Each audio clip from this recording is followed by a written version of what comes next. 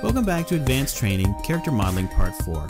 We're adding an eye using a simple sphere shape, but the eye seems to stick out of the side of the head. So we'll go into vert mode, press B for soft select, and then pull those verts out away from the eye. Then back in quad draw, we'll hold down shift and relax those verts until we get it to look right. Now the eye doesn't stick out from the side of the head. But when we move it forward in the side view, we see we still have that problem. So all we need to do is go back into vert mode, turn on soft select, and continue to adjust the verts until the eye is no longer protruding. Also using quad draw and holding down shift to relax those verts. Now I'm actually extruding the interior edges of the eye all at the same time to create a new edge ring. And now I'm just tweaking the verts until I get the interior eye shape properly set up.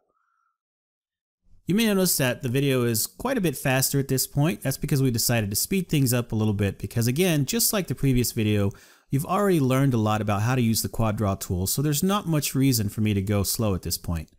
I'm just using all the same techniques, extending edges and faces, using the relax tool, and basically filling in the rest of the cat's head. And then here I'm just tweaking the verts manually until I get them properly aligned. I think one of the most powerful tools in the quad draw tool set is the relax functionality. Otherwise, you would have to manually go in and tweak every vert and edge until it looks right. But with the relax tool, all you have to do is hold down shift and basically paint across the verts to get a nice even distribution of your quads. Alright, so we'll just continue on here by creating the polygons of the back part of the ear. Again, using all the same techniques from the previous video. Just extending the polygons snapping the verts to create a connection, using the relax tool, manually tweaking the verts, and just rinse and repeat until we get the entire shape of the ear. Alright, so in a short amount of time here, we've nearly finished the cat's head. Just wrapping up the top of the ear here. Now we're using the relax tool to just get the edges and verts to be more evenly distributed. Now you'll notice that towards the top of the ear, the polygons get considerably smaller. That can't be avoided, obviously, to some areas of your polygonal mesh, you're going to have that, but for the most part, the size of the polygons on our cat head here are pretty homogeneous, and that's the most important part. We're going to go ahead and add our construction plane head to its own layer, and then hide that for now. We've also turned off make live, so we're no longer snapped to that construction plane, and now we're just making these verts coplanar so that we can prepare to flip it and mirror the head to the other side. We'll do that using the mirror geometry tool, and we're going to put this on its own layer called head. Now we'll mirror the geometry, and we have our completed cat head. So now back in the sculpt geometry tool, we're just going to continue to kind of finesse the shape of the head and I've got the settings for strength set really low, so we're just barely making adjustments here. We'll round out the cheeks or the jaws of the cat, sink in the nose area, puff out the nose itself and around the eyes as well, continue to make adjustments there, and just keep tweaking it with the sculpt geometry tool until you have the shape that you want. Remembering that we're no longer using a surface, we're no longer snapping to the construction plane so that we can make these tweaks. We'll sink in the cheekbone area there, using both the front, side, and perspective views at the same time in the 4-up, and using relax and smooth by holding down shift while using sculpt geometry, kind of the same way you do in the quad draw tool. See here, I'm holding down shift when I relax that area of the face. And he's really starting to take shape. And the great part is, is he has proper edge flow for animation. And he's all quads for subdivision. Okay, so we're moving right along and we're nearly finished with the head here. We'll just make some more tweaks with the sculpt geometry tool. Just continuing to round out the shape and also checking the model sheet view We'll add a 2-up view here so we can see what it looks like in both views, the front and the perspective as I paint. Looking pretty good.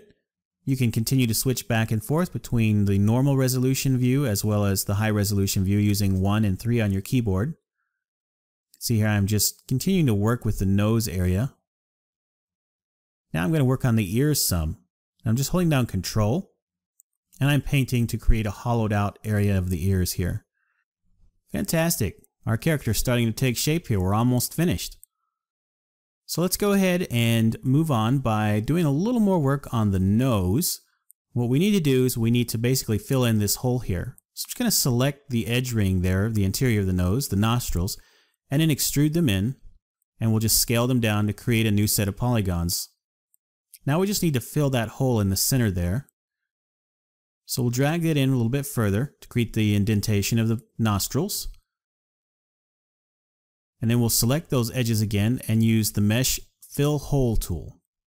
And of course, we got to draw in our polygons here using the multi-cut tool to make sure that we don't have any strange n-gons. We do have a triangle here, but that's not that important in this area. It is okay to have triangles sometimes, but I don't recommend it. We can always fix it later by adding another edge to the nose area.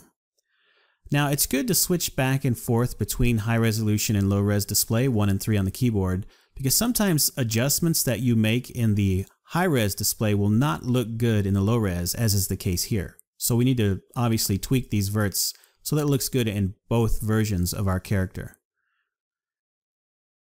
Because ultimately our character will be the low res version in game and we'll probably use a normal map to give him the appearance of the high res version. Alright, so our nose is almost finished. Pretty close. Just continue to make a few tweaks here to the verts. And we'll just pull these out a little bit so they give us a more of a puffy nose. More cat-like. There we go. Just fill in this hole here at the mouth that we missed using the fill hole tool. And now we just need to make some adjustments to the mouth area so that we have more of a crease. Right now it looks too smooth. So we're going to need to create kind of a crease here. So we're just going to pull these verts out using the high-res preview so that we can get that crease that we're looking for where the mouth cleft is and goes all the way up to the nose. Once again, switching to the low-res display, making sure it looks good there. Just continue to make a few tweaks on these verts, and it looks pretty good at this point. Looks good in low res as well as high res. All right. So I hope that you really see the power and flexibility of this workflow from basically creating a construction plane mesh using a simple shape such as a sphere and then using sculpt geometry to create the basic shape of your character, and then using QuadDraw to properly re-topologize it to create another version of the mesh that has good topology for animation and subdivision, and then going back to sculpt geometry and adjusting that shape until you get exactly what you want. And you can see that it doesn't take long to get the shape that you want that has proper edge flow, proper topology for animation and subdivision. And then of course you can use things like soft select, hitting B on the keyboard, and then making more adjustments to the verts, bringing things out, bringing things in. And by holding down the B key and clicking and dragging, you can change that size of your soft select brush as well. So here you can see that I'm just adjusting the eye area because obviously there's a big gap there where the eyeball meets the eye socket. We need to correct for that. So I'm just pulling those verts in sometimes using soft select, sometimes not, until I get that properly shaped, properly fit around the eye so it's nice and snug. So the eye area is pretty important because the eyes are a big part of facial expressions for squinting, for looking surprised or mad or happy, and you really want to make sure that the edge flow is set up correctly and there are enough edge rings around the eye. You can see I added another edge ring there so that it can properly animate. My eyes in this character are pretty stylized, pretty cartoony, but again, even in a cartoony character, the eyes are, as they say, the windows to the soul. A lot of expression comes out in the eyes. So make sure you get the eyes right above everything else. So basically I'm continuing to use soft select and this just pulling the verts into place so that the eyes fit more snugly. Now I'm taking the entire ring of edges around the eye and I'm just going to extrude them inwards and then scale them down a little bit and just continue to shape it so that it matches up with my eye. And if I need to, I can always adjust the eye itself. I can move it uh, a little bit further in or a little further out until I get it all just kind of matched up as closely as possible to my model sheet. But this is the importance of having a good model sheet to make sure that those eyes are, are still in the right place for your character. You can see also I continue to jump in and out of high res versus low res display in the viewport to make sure everything looks right. And sometimes it helps to go into wireframe mode if there are some verts hidden behind another object, you need to be able to select them. They're going to be more easily selected in wireframe mode, and that's 4 on the keyboard. So we're getting close to having the eyes finished here. Just using the front viewport on my left there to continue to move the verts around the eye into place. And you can see I have soft select turned on there. Soft select's fall off can be changed by uh, not only holding down the B key and changing the size of the fall off, but you can actually adjust how the fall off works in the soft select settings. You'll find those settings in the actual tool settings. If you would bring up the tool settings window, which I don't currently have open. Now we're just pulling these verts out around the edge of the eye there on the outside to make sure we have basically an eyelid. Same thing around the top.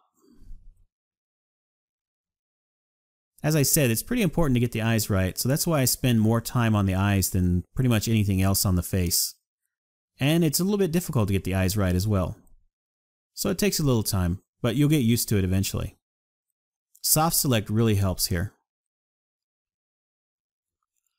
I could also use the sculpt geometry tool here, which I didn't, but you could use sculpt geometry to extrude out some of those faces and verts or bring them in or even smooth them out.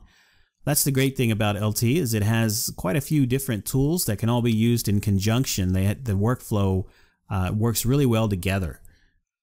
So I've used my little x-ray script to x-ray the eyeball itself so that I can get a better look at the interior verts of my eyelid which will allow me to tweak them and get them more properly positioned around the eye. Just using soft select again here, making some final tweaks. Starting to look pretty good. We'll just make a few more tweaks here. We're very close to being finished with the face, adjusting the verts around the eye, the cheek area, as well as the nose making sure that we have our cat anatomy over on the side monitor, looking at what a cat's face looks like definitely helps. So now we'll just go ahead and re-symmetrize our face. So I'm going to delete one side of the mesh and just use the mirror geometry tool to get back to a fully symmetrical version of our head. All right,